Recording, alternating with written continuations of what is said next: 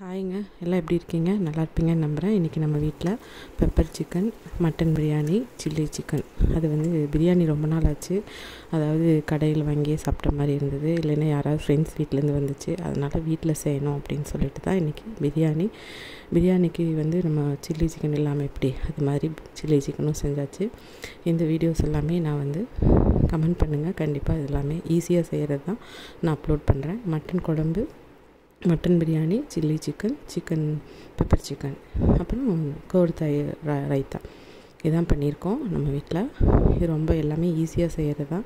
Bigness கூட செய்கிற மாதிரியான ரெசிபிஸ் தான். கண்டிப்பாக நான் சீக்கிரம் அப்லோட் பண்ணுறேன் நம்ம சேனல் பிடிச்சிருந்தால் லைக் பண்ணுங்கள் ஷேர் பண்ணுங்கள் கமெண்ட் பண்ணுங்கள் அதே மாதிரி சப்ஸ்கிரைப் பண்ணிட்டு பாருங்கள் இன்றைக்கி சண்டே நம் யார் வீட்லையெல்லாம் பிரியாணி என்னென்ன செஞ்சீங்கன்னு சொல்லி எனக்கு கமெண்ட் பண்ணுங்கள் கண்டிப்பாக நம்ம வீடியோஸ் பிடிக்கும்னு நம்புகிறேன் சப்ஸ்கிரைப் பண்ணிட்டு கண்டிப்பாக பாருங்கள் தேங்க்யூ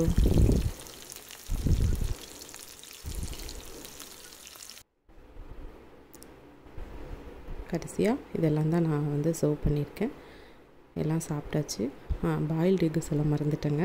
பாயில்டு எக்கும் கூட எல்லாம் வச்சு சாப்பிட்டு முடிச்சாச்சு.